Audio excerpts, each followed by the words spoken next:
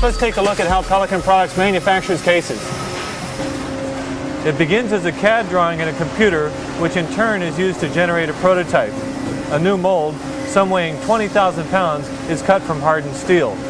Our cases start out as pellets that are stored in bulk silos. Air pressure moves the plastic pellets through the plant to hoppers attached to the molding machines.